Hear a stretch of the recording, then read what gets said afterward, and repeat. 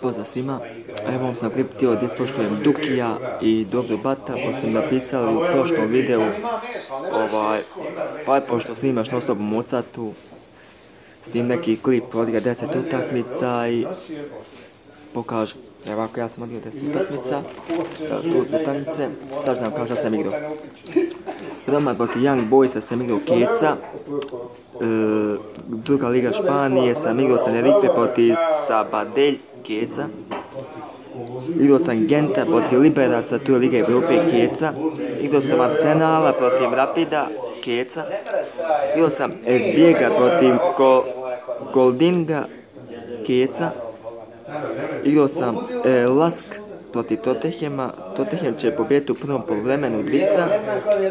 Igrao sam Crna Gora. Igalo protiv Jedinstvo.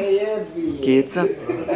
Igrao sam Oviedo, druga liga Španije, Oviedo, Alcori, Alcorcon, e, Keca. E, bože, prvi kod taj Kec. I dvije sam igrao, jest ja sam igrao košarku, Bilbao protiv Rivera Andorija, 41. polovrijeme. Igrao sam tenis, Sousa protiv Elias, Sousa će osvojiti prvi set. Eto, to su moje 10 utakmica. Nadam se da ćete vi jedan klip na svome kanalu, odgledam 10 utakmice, ja vas zazivam na taj klip. I to je to. E sad da pokažem jedno ovako, mislim da, da, da, da može da se vidi.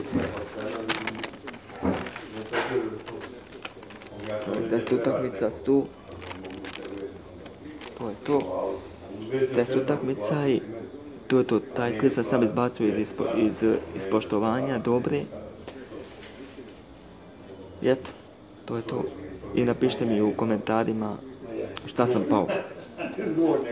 Ako igra kladioncu ili ko prati futbal, to je to. Eto, pozdrav. Ćao.